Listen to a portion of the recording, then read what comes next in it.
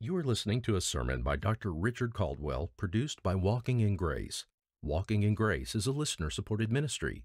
Visit walkingingrace.org/media to learn how you can help these messages reach more people.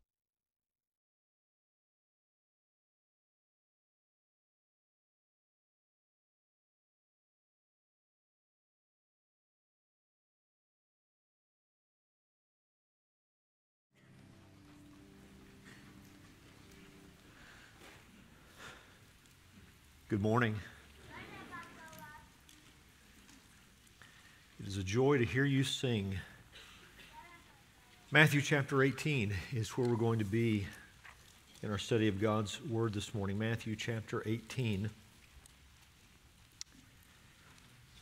For those who are visiting with us for the first time, we are making our way through the Gospel of Matthew on these Lord's days, both morning and evening. And we have come to verses 15 through 20. We dealt with these verses last Sunday in two sermons from a sort of a high level view of it, sort of the helicopter view of it. We, we talked about nine principles uh, to keep in mind for the correction of God's children. As we said last week, and we've been saying for a few weeks now, the entire chapter, Matthew chapter 18, deals with that subject how we are to live as the children of God. And when you come to verses 15 through 20, uh, our Lord is dealing with the correction of God's children. And so we took two sermons to deal with these verses. And then I said that we would just walk through them verse by verse, and that's what we're going to do this morning. Matthew chapter 18, we read beginning at verse 15. The Word of God says this Now, if your brother sins, go and show him his fault between you and him alone. If he listens to you, you have won your brother. But if he does not listen to you, take one or two more with you, so that by the mouth of two or three witnesses every fact may be confirmed. And if he refuses to listen to them, tell it to the church. And if he refuses to listen even to the church, let him be to you as the Gentile and the tax collector. Truly I say to you, whatever you bind on earth shall have been bound in heaven, and whatever you loose on earth shall have been loosed in heaven. Again, I say to you that if two of you agree on earth about anything that they may ask, it shall be done for them by my Father who is in heaven. For where two or three have gathered together in my name, I am there in their midst. Just ask our God's blessing on the time of our study of His Word. Lord, thank you for my brothers and sisters. It's a joy to be together this morning, and it just seems, Lord, increasingly um, the weightiness of what your church represents is impressed upon me. And as I think about the current state of affairs in the world in which we're living, as I think about what the next generation or two will look like if our Lord should tarry in his return. Uh, Lord, it's just impressed upon me that these days are of high importance. Our gathering together is weighty. And Lord, I pray that that would be impressed upon all of us, that we would recognize that at any time and in any age, these are things you've commanded, things that are essential for us, but especially in difficult times. Oh, how important it is that we uh, are close to each other even as we walk closely with you, that we would exhort each other all the more as we see the day approaching. So, Lord, even now as we turn our attention to your word, would you help us to give you our best attention? Would you help us to be strengthened to receive the things you've revealed in your holy word. May your spirit be at work in me as I preach and in us as we listen, and may the result be transformed lives. And Lord, even our desire and our prayer today is that some would be saved, some who don't know you, who do not yet know you and do not yet know your Son. May this be the day of salvation for someone. We ask these things in Jesus' name. Amen. If anyone expected that they could join a church that did not deal with sin issues. Right? You, you join a church where sin never raises its head, where there's never a need for confession, where there's never a need for repentance, where there's never a need for forgiveness, and not just you know one or two, but multiplied sin issues in a fellowship. If, if you thought you could join a church like that, it could only be because you had not read your Bible. I mean, just read the New Testament and you're going to meet with church after church after just read the seven letters to the churches in the book of Revelation, our Lord uh, uh, addressing each of those seven churches and assessing each of those seven congregations. And right away, you're alerted to the fact that the church is a place where we deal with sin. And in the same way, if you ever imagined that you could join a church and those sin issues would not affect you personally, that you would never be the one needing to confess sin, that you would never be the one in need of repentance, that you would never be the one who would need someone else to forgive you, or that you would never be sinned against. Right? I mean, you're going you're going to witness people dealing with sin issues, but but you won't have to deal with it. No one will ever mistreat you. No one will ever have to confess sin that they've committed against you or repent about something they've done toward you. That you would never need to grant forgiveness after you've been sinned against. If you thought that you could join a church and it would never, you know, sin issues would never touch you personally, then again it would be because you had not read your Bible. Something wonderful about our God and about His Word is that we are never left with false expectations. He has prepared us with Scripture to live as His children, He has prepared us with Scripture to live life in His family. And one of the things that He has made clear is that you and I are going to deal with sin issues. The family of God is a place where we deal with sin issues. That's what our Lord is teaching His disciples about in our verses. Not only informing their expectations, but giving them a set of steps, a process by which we are to deal with these sin issues when they arise. Even if we have read our Bibles, even if we would say to one another today, hey, hey, I know that the church is going to be a place where we deal with sin issues. And I know that I'm going to be, as a child of God, someone who deals with sin issues, even where we acknowledge that intellectually, we have to admit it's still a test when it comes time to practice it. It's much easier to say that we know that we sin than it is to actually acknowledge our sin. It's much easier to say that we know we're going to have to humble ourselves and admit where we have done wrong and ask for forgiveness. It's much easier to say that than it is to actually do that. And it's much easier to say that we know we're going to be sinned against and that we're going to have to forgive each other than it is to actually forgive each other when the time comes that someone has done that to us.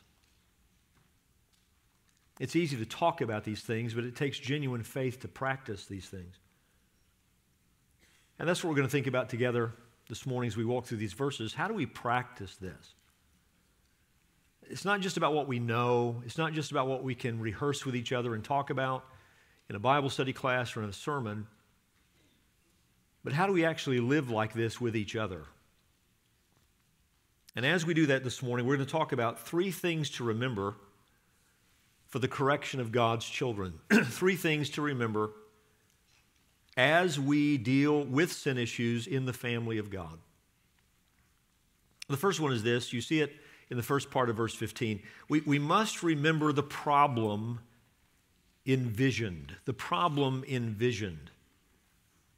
Pay attention, remember always when you're dealing with sin issues, this text and the situation that our Lord was offering to us as he's giving us instruction about this matter. What, what, what is it that he envisions in these verses? And verse 15 says this Now, if your brother sins, Go and show him his fault between you and him alone.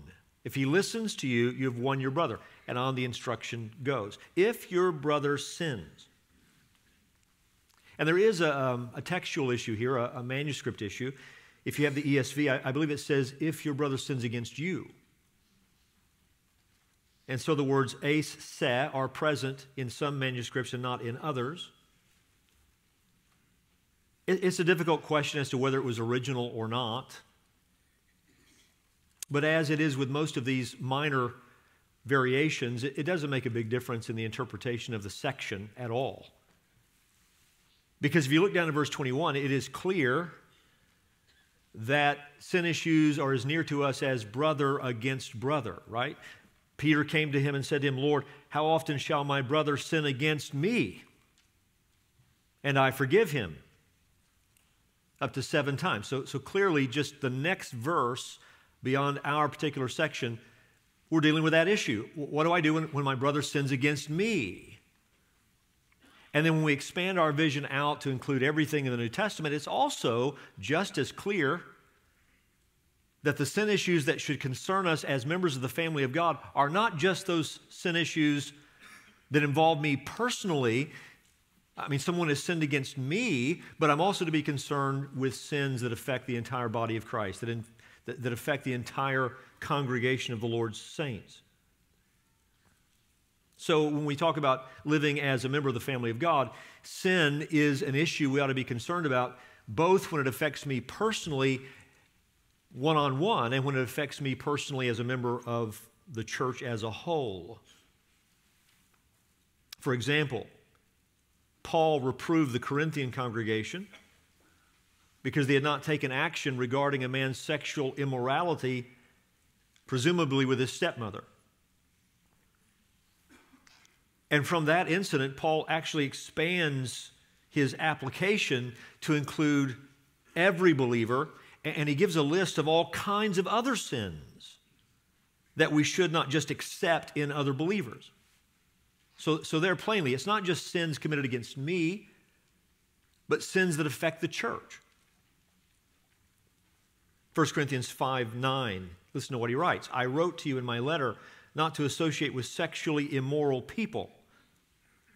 Not at all meaning the sexually immoral of this world, or the greedy and swindlers or idolaters since then you would need to go out of the world. But now I'm writing to you not to associate with anyone, anyone who bears the name of brother if he is guilty of sexual immorality or greed or is an idolater, reviler, drunkard, or swindler, not even to eat with such a one.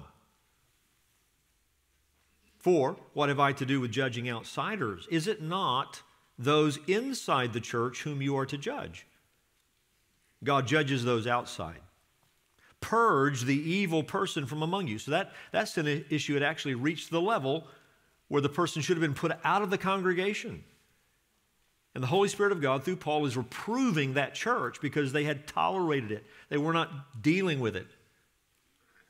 It's plain, that's not just my brother sinning against me, that's a brother sinning with his stepmother but in a way that threatens the purity of the entire congregation. And then I mentioned those seven letters to the churches in Revelation. In two of those addresses, our Lord reproves congregations because of what they were tolerating. The church at Thyatira, Revelation 2:20 says this, "But I have this against you that you tolerate that woman Jezebel, who calls herself a prophetess and is teaching and seducing my servants to practice sexual immorality and to eat food sacrificed to idols. The Lord of glory, the chief shepherd of the church, is rebuking a local congregation because they're allowing a, a, a, woman who is a false teacher to operate in their midst. The church at Pergamum is rebuked in a similar fashion, Revelation 2:14, but I have a few things against you. You have some there who hold the teaching of Balaam, who taught Balak to put a stumbling block before the sons of Israel so that they might eat food sacrificed to idols and to practice sexual immorality. So also you have some who hold the te- teaching of the Nicolaitans. Therefore, repent. If not, I will come to you soon and war against them with the sword of my mouth. Speaking to the entire congregation, because there were some in the congregation living in these realms of false teaching and false practice. So, sins committed against us individually, verse 21. How do we deal with this? Sins that affect the entire congregation? How do we deal with that? Our Lord is giving us the instructions. And again, this is something to be practiced. Much easier to talk about it than to do it. We know this. I mean, how many times have you had great advice for someone only to struggle with something very similar when it, when it came home to you? Right? They're out there in the midst of it, and boy, you got every answer. This is what you need to do. Should have done that long ago. Why does it take you so long? And then it's you.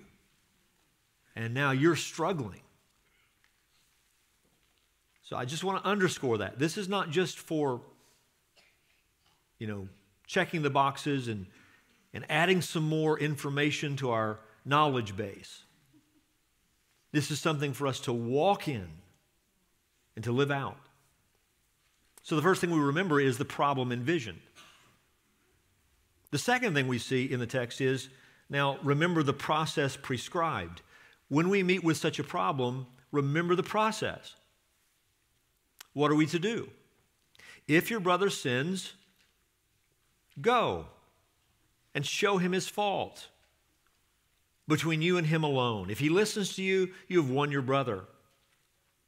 But if he does not listen to you, take one or two more with you, so that by the mouth of two or three witnesses every fact may be confirmed. And if he refuses to listen to them, tell it to the church. And if he refuses to listen even to the church, let him be to you as the Gentile and the tax collector.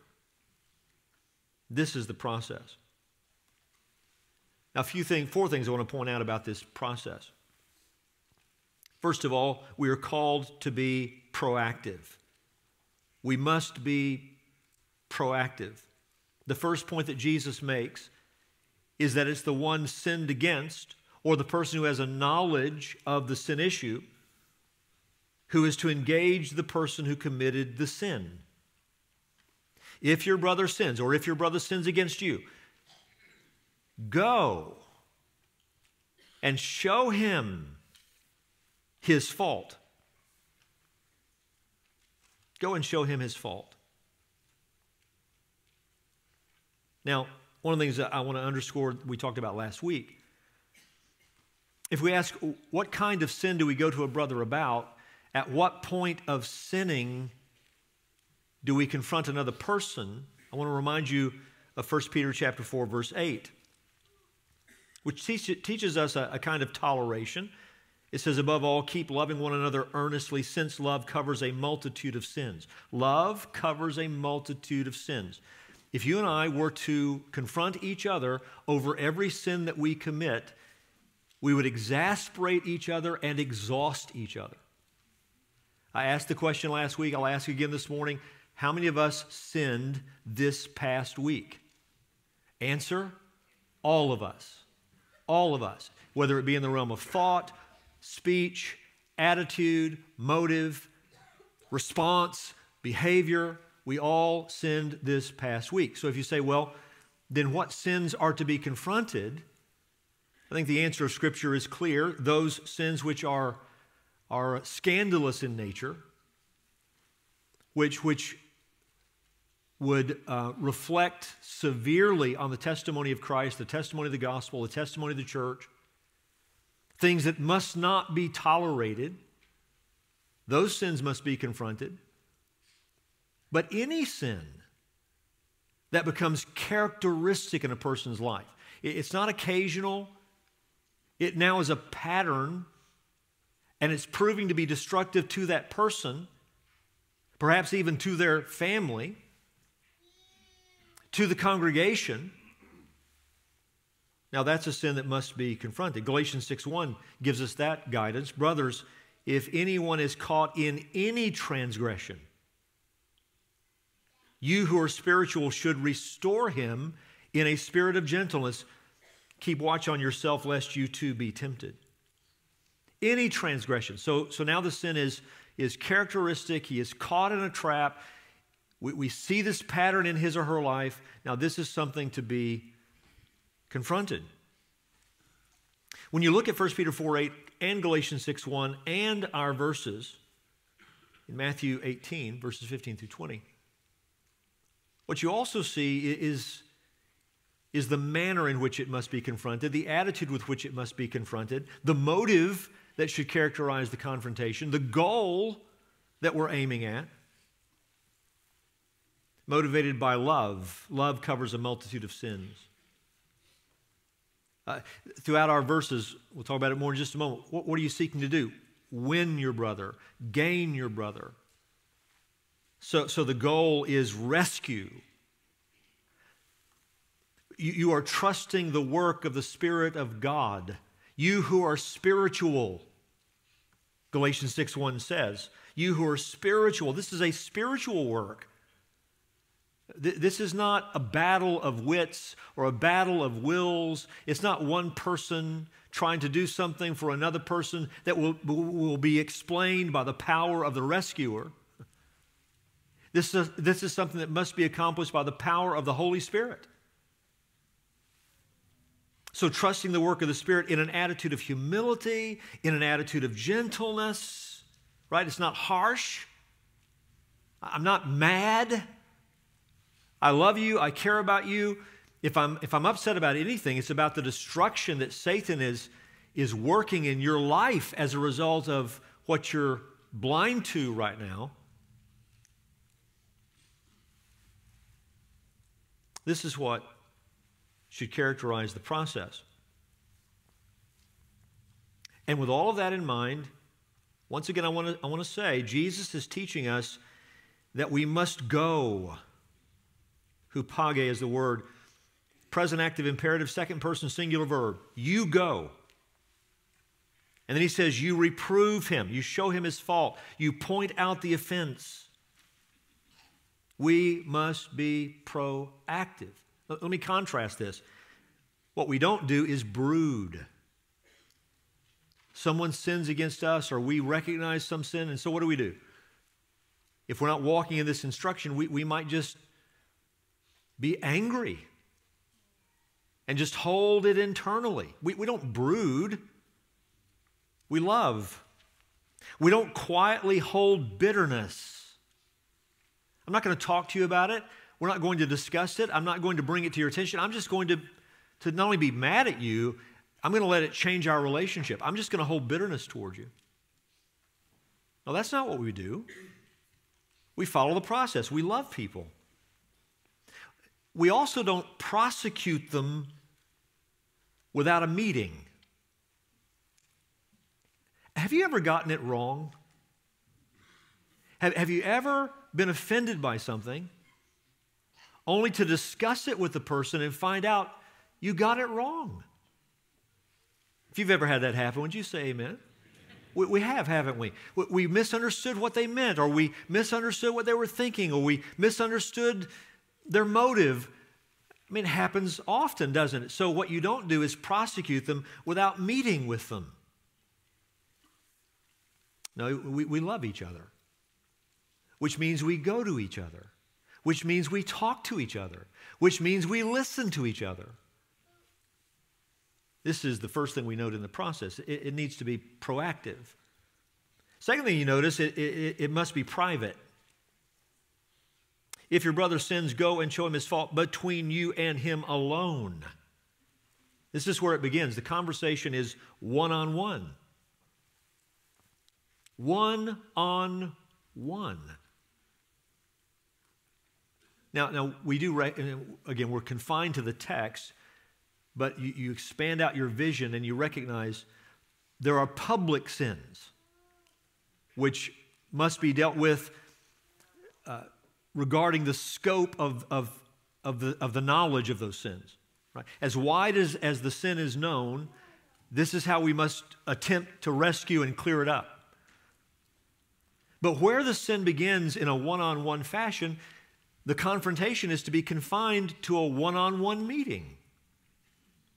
This is where we begin one on one. How often do people violate that? Before we ever give an opportunity to the accused, we act like prosecuting attorneys with our friends. We accuse, we complain, we express anger, we express our hurt, we express how we've been offended, and we're telling everyone else except the person whom we say is guilty. Before we ever address the issue with the person that we say has sinned against us, we're already prosecuting the case in a public arena. Do you know that when you've done that, you're the one who's sinning? You're sinning against the one who, whom you say sinned against you because you're not following the process. You're not following the instruction that, that our Lord gives to us. So we're proactive and we begin at a private level. Third thing we note is we must be redemptive. If your brother sins, sins, go and show him his fault between you and him alone. Show him his fault, reprove him. What are you dealing with? You're dealing with Scripture. You're dealing with clear violations of the truth. We're not talking about matters of opinion, differences of, of personal preferences. We're talking about sin issues. So you're able to demonstrate the fault between you and him alone. Now, note, if he listens to you, you have won your brother, you have won him. Or you could say, you have gained him. Kerdaino is the word. The lexicon has this to acquire by effort or investment, to gain. You've won him. That, that speaks to our hearts, doesn't it? You don't see the offender as trash to be avoided. You see the offender as treasure, your brother, to be gained, to be redeemed. What you want is for them to listen. The winning of the brother is the listening of the brother. They, they, they, they hear you, they see it, they repent, they turn from their sin. That's what you're after. The goal is not to embarrass them, the goal is not to tell them off. Yeah, I want to have a meeting. I want to tell them exactly what's on my mind. Is that the goal you see in the text? Is that the attitude you see in the text? The goal is not to drive them away. The goal is not to pay them back. Can I ask you this? When, when someone has sinned against you, are you giving them room for repentance? I mean, do you want them to repent? Or isn't it true that sometimes we want to complain about what they've done and then we want to be rid of them? We don't really want their repentance. Because no matter what the offender says, the person sinned against doesn't receive it. They don't listen to the fact that the person has listened. They've heard you, they've heard the case, they've admitted they were wrong, they've asked you for forgiveness, but then you, you don't want to receive what they say. Our Lord challenged our, our motives in Luke chapter 17. I want you to look there just real quickly so you can see this with your eyes. Luke 17, and look at verse 3.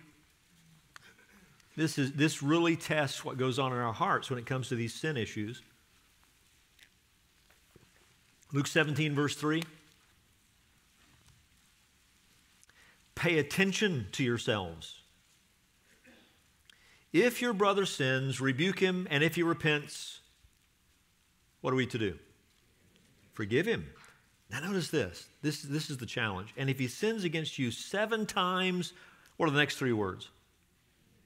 In the day. Seven times in the day and turns to you seven times, saying, I repent, you must forgive him. You must forgive him. Now, I just want to ask you for all the people who say, you know, you've, you've heard this teaching, I think they have it wrong. We don't have time to deal with it this morning. But the idea is that forgiveness isn't necessary unless repentance has happened. You're going to run into that teaching sooner or later. You're not called to forgive someone until they repent. Well, I want to ask you, Mr. or Mrs., you must repent before I forgive. I want to ask you, when they have asked for forgiveness the sixth time in the same day, are you beginning to doubt their sincerity just a little bit? What do you think? Seven times in the day. And they come to you on number six and say, I repent. Jesus says, You must forgive them. Now, you see, what he's dealing with is what's going on in our hearts. Are you hopeful? Are you hopeful? This, this is what love does it, it hopes for the best. Are you generous? I mean, do you give generous ground for repentance? Or have you restricted what, what you call repentance down to something so narrow they really can't even repent? Are you generous in your forgiveness? Do you desire their repentance? Do you want to see the Lord change their life? Or have you already concluded they are to be disregarded? Many, many, many times. When sin issues arise, there is work to be done in the heart, not just of the person who needs to repent and ask for forgiveness, but in the heart of the person who then is to receive their repentance and grant them forgiveness. Heart work has to be done in, in, on both ends. So, we must be proactive. It begins private. We must be redemptive. What we want is rescue. What we want is, is return. What we want is to be able to forgive. Which means, fourth, we must be receptive. We must be receptive. When our Lord says you've gained him, you've won him, what does that represent? It represents the end of the matter. Because notice, the only time you go to the next step is if he does not listen to you, or if he does not listen to them, or if he does not listen to the church. So, so we've got to be receptive of the listening party, the repentant party. If you've gained him, that means it's the end of the matter. That's it. That ends it. That's all you wanted. Which gets, goes back to something I said earlier. Do, do we really desire that? Do we desire for the matter to be settled? Or do we really want to keep it going? We want to nurse our wounds. We want to stay angry. As the saying goes, we want our pound of flesh. We want to make them pay. Going to make them pay because you're going to know I'm angry. Going to make you pay because you're going to know I'm pouting. Going to make you pay because you're going to know that it just can't immediately become like it was before. I'm going to make you pay. Or are you receptive to the, I mean, you were desiring their repentance. This is joy for you that they've heard you and they've turned because you treasure them, you're winning them, you're gaining them. They're valuable because they're a child of God and they're your brother or your sister. We must be receptive,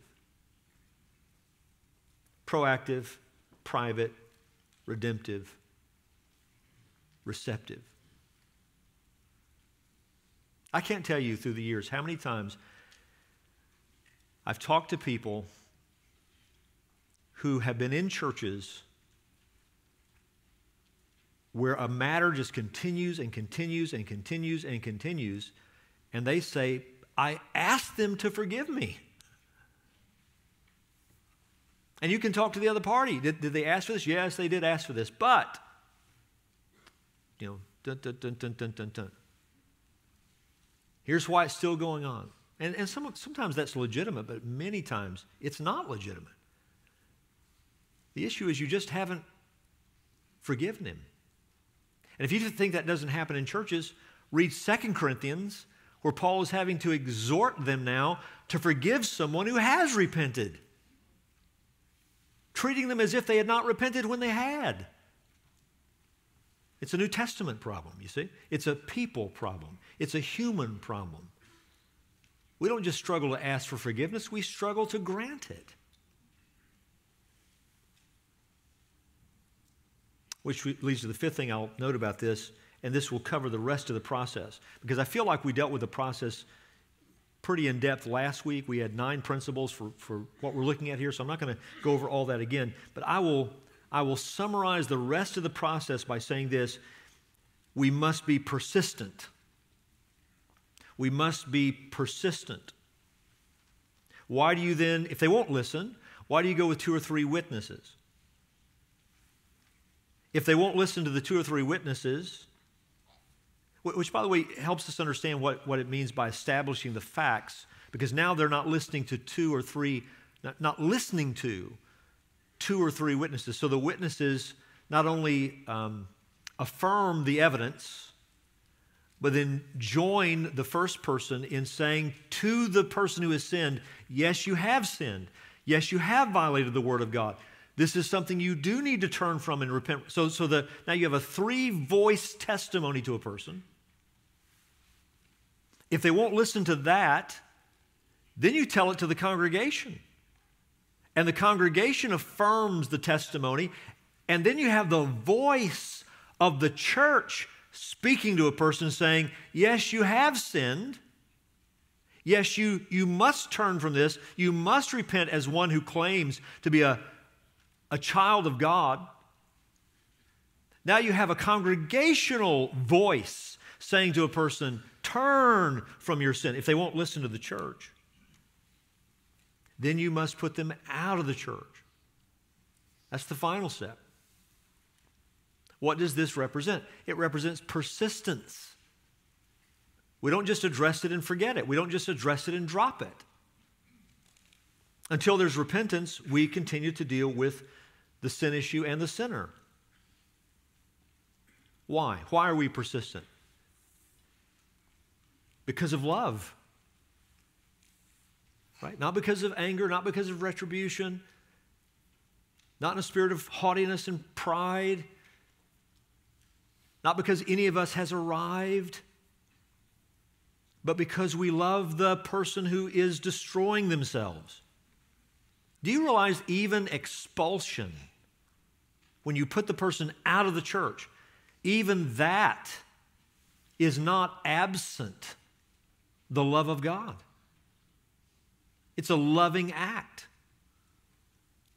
Write this verse down. Look at it when you have time. 1 Corinthians 5 5. 1 Corinthians 5 5. You are to deliver this man to Satan. That's putting him out of the church. You are to deliver this man to Satan for the destruction of the flesh, so that, there's a purpose statement. Why are we doing this? So that his spirit may be saved in the day of the Lord. Take this action with the hope that this will result in his conversion or this will result in his repentance. If he is saved, and it, but, but has act like an unsaved person all the way through the process so that now we have to assume he's not saved. But if he is saved, may the Lord use this process to bring about his genuine repentance. But if he's not saved, may the Lord use this to save his soul. Even that final step is a loving step. Why church discipline? Because we're jealous for the glory of God. This is not, this is the Lord's church our God. We, we gather together to give our worship and praise, adoration and submission to our glorious God and to our glorious head, the Lord Jesus Christ. This is His church. And so, jealousy for the holiness of God and the glory of God motivates this loving action because we understand the importance of the purity of the individual Christian's life. We are all to be pursuing holiness. And because we understand the importance of the purity of the congregation's life.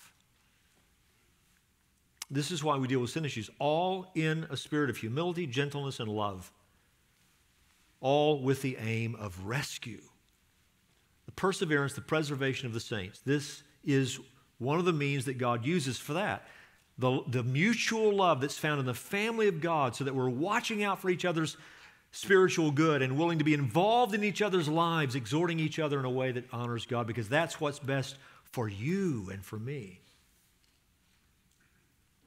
That's what motivates all of this. So, proactive, private, redemptive, receptive, and persistent. This is the process. The problem envisioned, sin one on one, or sin that affects the congregation.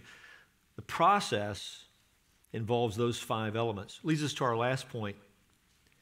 Notice in verses 18 through 20, remember the third thing we're to remember remember the power promised. Remember the power promised.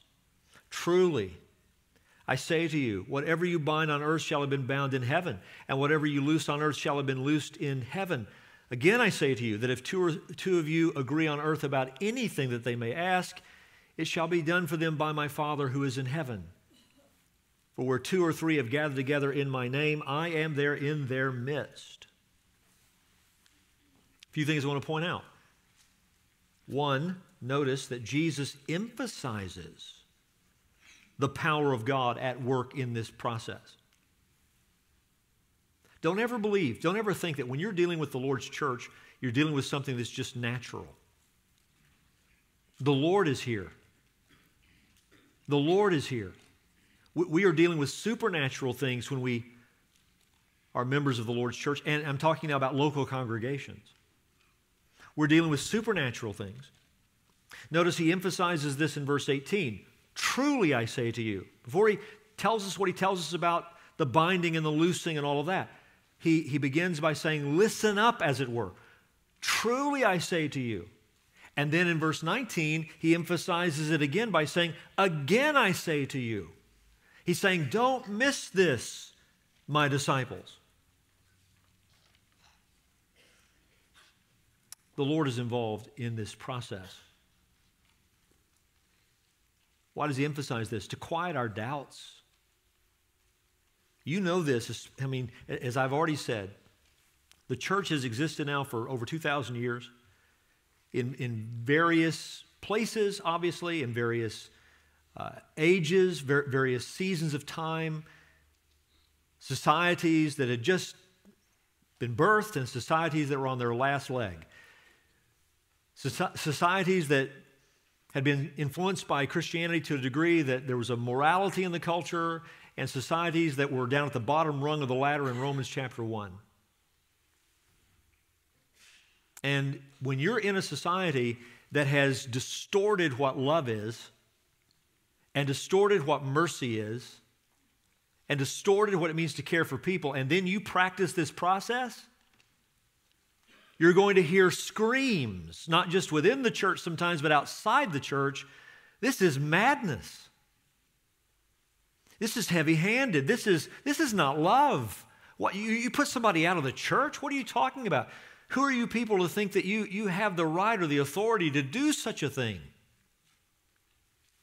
And so, living in a time like that, I mean, if you're, if you're, if you're living in Sodom, maybe some doubts begin to creep in. I mean, should we, should we do? I, have you ever heard this? Churches say something like this We know that's what the Bible teaches, we just don't think we can practice that. When I came here 25 years ago, there was a man committing adultery in a public fashion against his wife, and that was the very discussion we had in a deacon's meeting. I don't think we can afford to do this, to discipline that sin.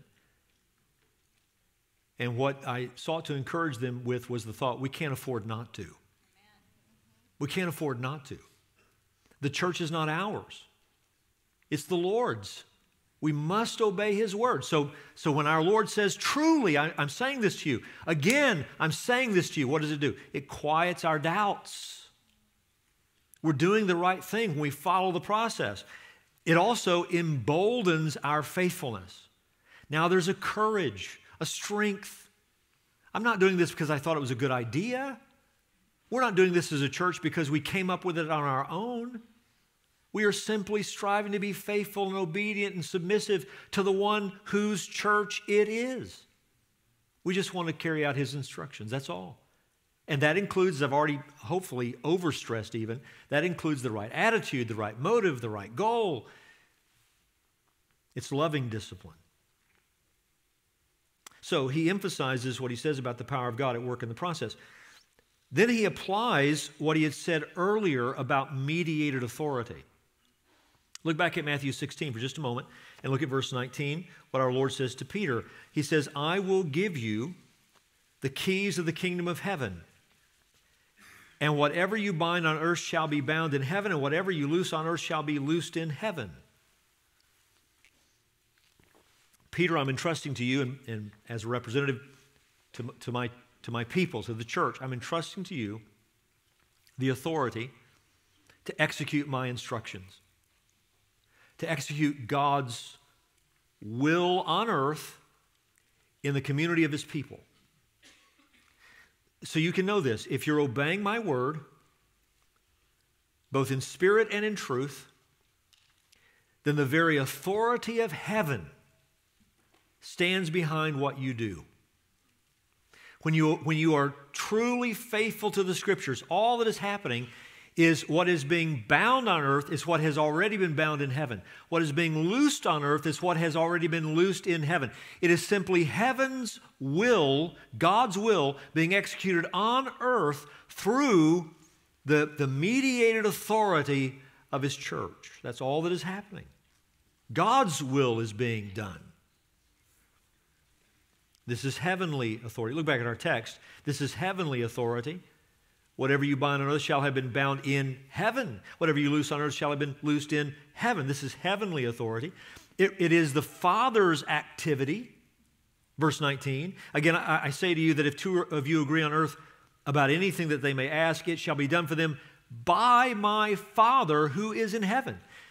It is the Father's activity that we are witnessing.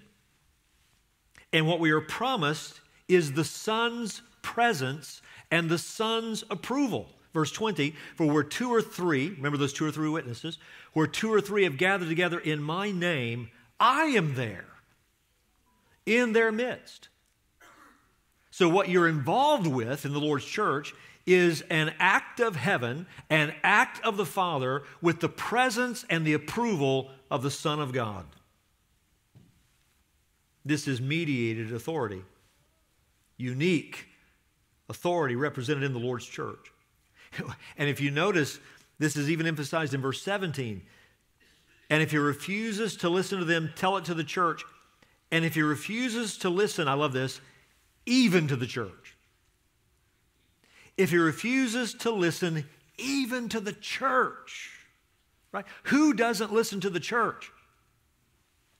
Who will refuse the voice of the church? Who can turn a deaf ear to that level of loving accountability? If he can do that, if she can do that, then you must assume they don't know the Lord at all. Which is why they become to you as a Gentile or a tax collector, someone outside the fellowship of the community of the people of God. The church, dear ones, is unique. It is the pillar and support of the truth on this earth. And as I finish, let me just camp there for just a moment because I feel like I believe this is something we need to, to hear right now in our time. I think this is something that Satan is particularly targeting in our day. There are powerful voices in, in the, in the name of evangelicalism, even, right?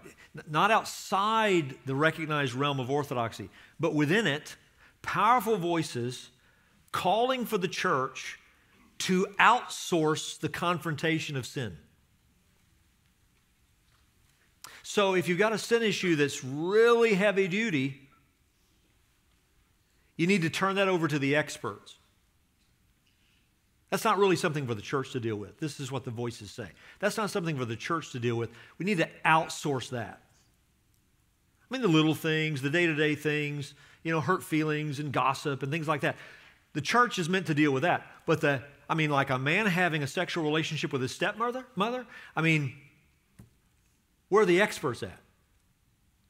Let's outsource it. Or those same powerful voices call for the church to seek the approval of secular opinions in the confrontation of sin. Okay, we'll let you handle it, but you need to consult with us. You need to bring in an outside group to participate with you. There needs to be oversight beyond the local church if you're going to do it. So we'll let the church deal with it. I mean, some say just outsource it. Others say, no, okay, the church deals with it, but now let's bring in the outside experts to help you. Whatever form it takes, what they're questioning is is the church adequate to deal with sin issues? Is the church adequate? And can I tell you, if we're not careful, that even begins to come into play in ways we don't immediately recognize. Let me give you one of those sort of very subtle attacks on the adequacy of the church to deal with its own sin issues. I want to be very careful, so don't misunderstand what I'm going to say. I feel like I'm treading on nuclear material here. We've got to beware that we don't even allow the biblical counseling movement to assume a place in the local church it was never meant to assume. Is there anything wrong with getting training in biblical counseling? Of course not. But what is biblical counseling? It is saturation in the Word of God and learning what it is to apply that knowledge to people's problems. And when you begin to view that training like it's producing some sort of counseling expert, so that now within the church, these sin issues are not dealt with mutually, but now there's an element of the church that deals with people's problems in the church. Have you been trained? Have you been certified? Do you have your certificate? Are, are, are you a, a recognized biblical counselor? Now, what have you done? You must have something. What you're really questioning, what, this, is, this is actually mind blowing. In the name of the sufficiency of Scripture, you're actually questioning the sufficiency of Scripture. Because now it's not enough to be saved and to know the Bible and to be walking in truth and to have the Spirit of God. Now you have to have the training which means the training is something additional to the sufficiency of Scripture to be able to help people with their sin issues. Can you see that? So not only are there are these outside voices saying the church is not adequate to deal with these things, but now even if we're not careful, within the church, I mean sound churches, we can confuse what training for biblical counseling would, would mean if it's rightly understood. If you want someone to take you under their wing and disciple you to know Scripture better and to know how to help others better, perfectly fine. Hallelujah. We do that at our own congregation. But now, if you think that these are the only people qualified to help other people with their sin issues, you have totally misunderstood what that kind of training is meant to do. If you understand that, would you say amen? So these are attacks on, on what our Lord is saying. He gave the keys of the kingdom to whom? To his disciples, to his church, to his people, to this church, to other churches, which means we have the authority under Christ Jesus, mediated by him, to take his word in hand and to apply that word to the problems we're going to meet with in this church for sure. If you think you're joining this church and you'll never deal with sin issues, you must not have read your Bible. If you think you're never going to have to deal with it on a personal level, you will never ask for forgiveness. No one will ever have to ask you for forgiveness. You must not have read your Bible. The church is a place in the Bible where sinners are de- redeemed sinners are still dealing with sin issues. And God has given us in His Word, in His Son, by His Spirit, all the sufficiency to be able to address those sin issues just like He means for us to do it. And He promises us where it's happening according to the process. He says, I'm right there. I'm right there with you. And lo, I'll be with you even to the end of the age. And so the church must stand her ground. We must stand our ground in a world that doesn't believe in that sufficiency, in a world that constantly questions it. The church must stand her ground. Who are we by the will of God? 1 Timothy 3:15, if I delay, you may know how one ought to behave in the household of God, which is the church of the living God, a pillar and buttress of the truth. Is there a place in the world where we find the truth, where it is upheld, where its beauty is displayed? And the answer is it is the church. It is the Lord's church. So thanks be to God. If your brother sins, if he or she sins against you, if he or she sins in a scandalous fashion, if he or she, he or she sins in a way that now has become characteristic and destructive, thanks be to God, we're not left in the dark. We're told exactly what to do, how to do it, the attitude involved, the motive involved, the goal involved, the power involved. God has given us in His Son everything we need to glorify Him, even when we're dealing with sin. Praise be to our God and to our Savior, the Lord Jesus Christ. Amen. Let's pray together. Father in heaven, thank you for your holy word, and thank you for the sufficiency that is ours in Christ Jesus and the sufficiency that you have granted to your church to deal with these matters. Lord, may we glorify you in all of our ways as we're seeing even in these verses, in our thoughts, in our attitudes, in our words, in our behaviors, in the steps that we take, in the goals that we hold in our hearts. In, in not just in a love that confronts sin, but a love that's willing to forgive sin. In a gracious uh, love that remembers how much we've been forgiven of, Lord, in that way, may you glorify your great name in and through your church. And we ask for this in Jesus' name. Amen. Let's stand together.